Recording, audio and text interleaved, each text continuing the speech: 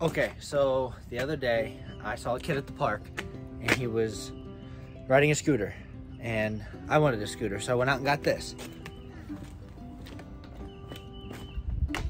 Then I realized I'm too heavy for it. Weight limit 60 pounds. Whoops. So then I got this. Weight limit 250. Should be good.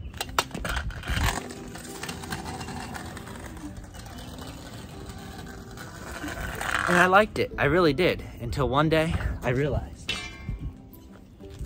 it trips me up with these small tires.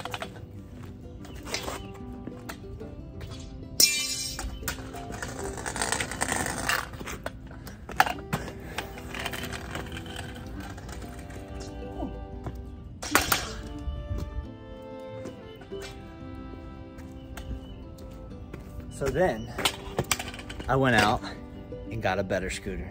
Introducing the Razor with 8 inch solid tires and it folds. But as much as I enjoy it, I'm, I'm uh, not too heavy for it.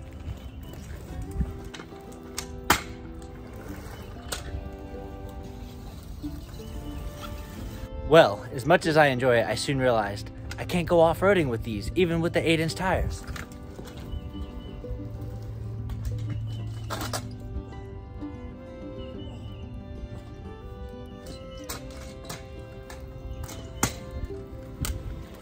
So then I realized I just need bigger tires. Introducing my kid's 16 inch tires from his old bike. Then I went out and bought this aluminum rail I'm gonna use to extend this piece to accommodate a larger tire. So the first thing we have to do is take off these two wheels. Looks like it's a uh, hex bolt and then the front looks like it's hex as well. Basically, we're gonna be extending these arms on the front and then on the rear. And uh, yeah, it should be able to accommodate a larger tire.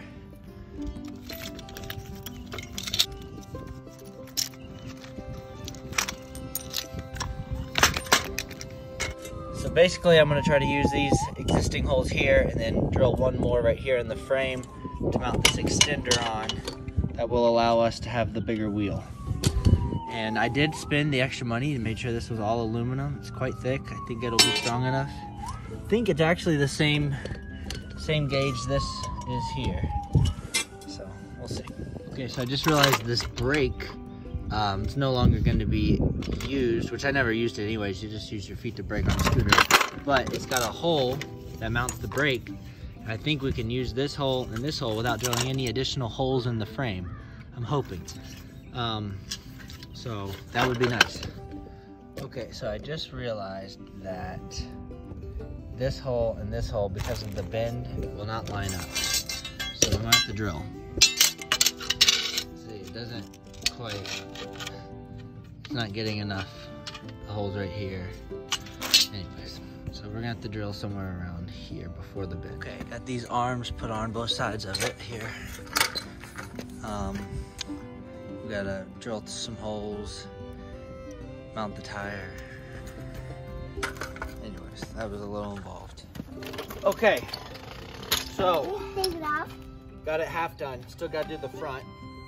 Let's see if it'll hold the my weight. It rubs a little bit. Need to put a little spacer in.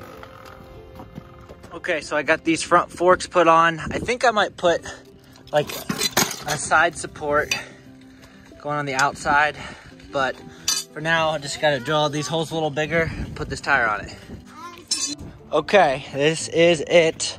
Um, I wasn't able to use the same size tire on the front and the back, and that's caused quite quite an angle on the, the platform for your feet. But I, I think it adds a little bit of a cool look to it. But here it is.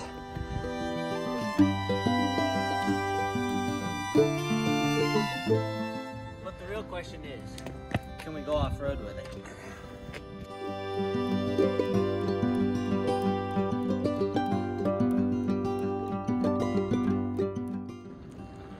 The answer is yes.